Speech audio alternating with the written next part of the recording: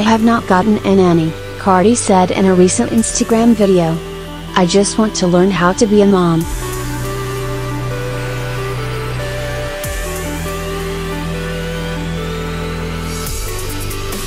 I want to enjoy every single second of it since I'm going back to work. So I don't have that extra hand.